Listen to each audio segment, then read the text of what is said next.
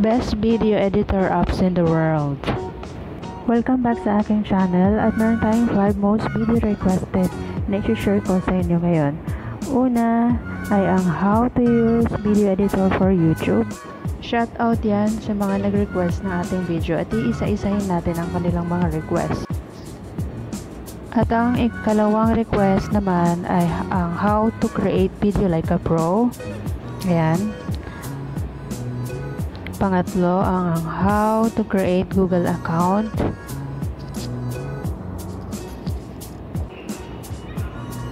Ikaapat ay how to create YouTube account.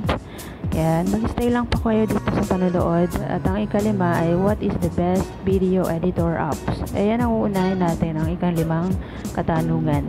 So, let's explore the Google Play. Mamaya ay malalaman mo isa-isa kung ano ang mga features ng video editors na ito at kung paano sila gamitin. Kaya dapat matapos mo ang video na ito. Nandito sa Google Play ang lahat ng video editor apps na ito. Kaya unahin na natin ang Blogstar for YouTube. Ang Blogstar for YouTube ay isa sa 10 video editor apps na isi-share ko sa inyo ngayon. Meron na itong 1 million downloads, ibig sabihin marami nang gumagamit at may 64 megabytes. Meron itong mga stickers, emojis, kasama na kapag na-download ninyo at meron din siyang mga features na effects, glitch, at meron ding reaction cam. Madali lang itong gamitin. Meron itong mga features at walang ad. Ang mga disadvantage naman ay um, bugs at few device at may watermark ito. Filmmaker Pro. Ito ang video editors na una kong ginamit. Meron na siyang 1 million downloads, 42 MB, and meron na siyang mga free fonts at pwede kayong mag-cut ng mga videos na pwede nyo pagsamasamahin and may mga free musics na rin siyang kasama. Easy to use lang talaga itong Filmmaker Pro, madaling gamitin at napakamura ng kayang price sa Google Play App Store. Problem in exporting, disconnection problem, video jumbled at watermark ang kadalasang disadvantage ng Filmmaker Pro.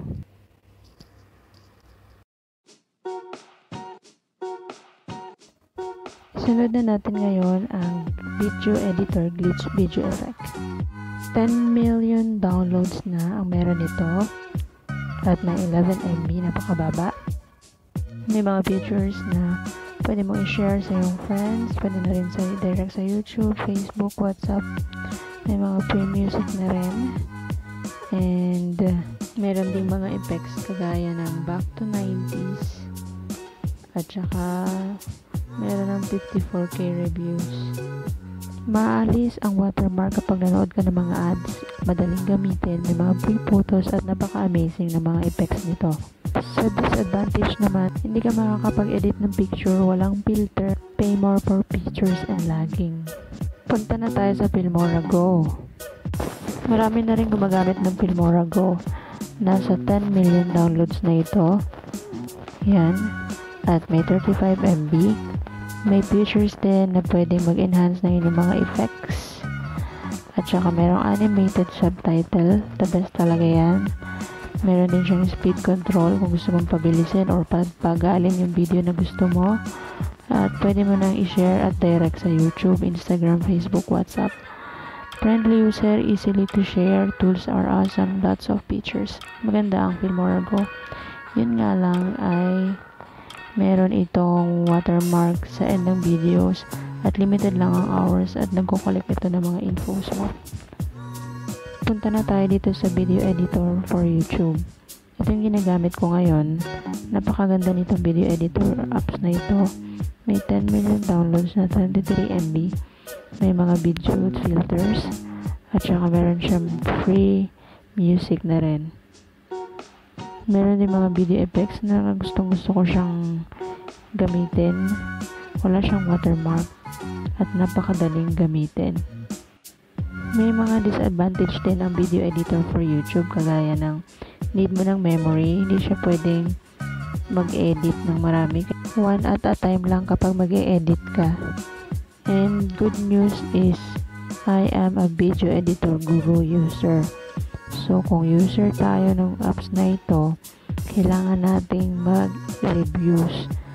Since gustong gusto ko yung apps na to, positive review ang bibigay ko dito. Kapag may mga apps kaya na nagustuhan nyo or hindi nyo nagustuhan, mag-iwan kayo ng review para mas ma-improve pa yung performance ng apps na inyong ginagamit. Kagaya ng ginagawa ko ngayon, positive review, ay magagamit ito para mas mapaganda pa ang apps ng video editor for YouTube. At kung sa tingin mo naman ay may naitutulong sa iyo ang video kong ito, mag-subscribe ka na sa aking channel. I-click mo ang pulang subscribe button kasama na rin ang notification bell below para ma-notify ka sa aking bagong video na i-upload. Ayan, nakapag-subscribe ka na rin at na-hit mo na rin ang bell notification below. At tapos na rin ako mag-reviews. Kaya ipopost na natin ito sa Google Play App Store. 4.7 stars and 279k reviews para sa video apps na ito. Punta na tayo sa Magistro Video Editor and Music. 50 million downloads na ang meron nito. Magistro ang isa sa mga magaganda ring video apps editor na ginagamit ng ating mga YouTubers. Magkakagawa ka ng video in a minute. Napakadaling gamit itong Magistro Video Editor. May mga effects, music, and free na rin kasama.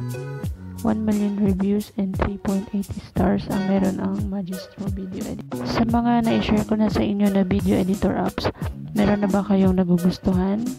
Ang Magistro ay friendly user, great for videos kasi overall performance na ito. Sa disadvantage naman ay meron itong high cost, bugs, at hanggang 50 minutes video lang ang pwede nitong magawa. Punta na tayo sa Power Director. Isa ito sa magaganda ring apps na meron ng 50 million downloads. 40 MB. Napakaganda rin ang features nito ng Power Director kasi meron siyang chroma key kung saan pwede mong tanggalin yung background. After mo siyang magawa ng video, pwede mo siyang i-direct sa YouTube, i-share, pati na rin sa Facebook. Perfecto sa mga beginner, more option para makagawa ng video quality. Disadvantage, may watermark, need ng memories, mataas ang cost. Punta na tayo sa KineMaster. And KineMaster user ako. Meron na ito 100 million downloads. Napakaganda ng KineMaster. And may 2 million reviews na siya. 4.4 stars, 70 MB. At may mga chroma key rin. Napakaraming features. Gustong gusto ko tong gamitin. Napakarami rin yung features. Ang daling gamitin. Friendly use. Complete navigation. Easy to use. Powerful video editing tools. And highly recommend ko talaga yan. Disadvantage, nag-slow down siya. Kailangan mong upgrade to premium bugs to fix and may watermark siya. Last two na ang naiiwan. Ito ay ang video show editor.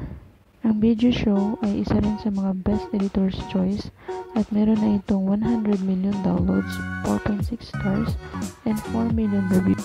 Napakarami niyang features kaya may enjoy mo siyang gamitin. Mabilis mo siyang maisave sa iyong gallery then direct mo rin siya kaagad na may share sa Facebook, YouTube. Meron siya mga colorful effects. Ang ganda yung mga effects niya. And then, professional editings. At saka, may mga music din siya. Ayan, may share mo siya kagad sa Facebook. And then, uh, all-in-one video editor na talaga siya. Ang ganda niya fast conversion, lots of features, user-friendly, excellent function. Sa disadvantage naman, napakarami niyang ads. Wala siyang ando and expensive yung cost. Last but not least, Viva Video Editor. Ito ang pinaka number one na video editor sa buong mundo. 100 million downloads meron na ito. 4.6 stars and 11 million reviews. Pakarami. Marami talagang gumagamit ng Viva Video. And then, incredible themes ang kanyang features. Meron din siyang mga, pwede mo na i-mix yung videos and photos pag in-edit mo. Maganda talaga yung kanyang mga features. May free music na rin.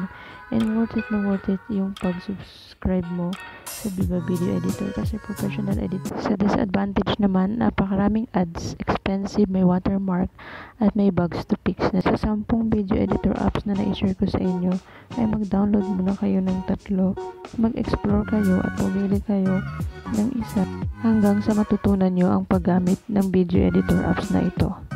Salamat sa iyong panonood at natapos mo ang video na ito and see you next time sa aking susunod na video. Bye-bye! Pa-like!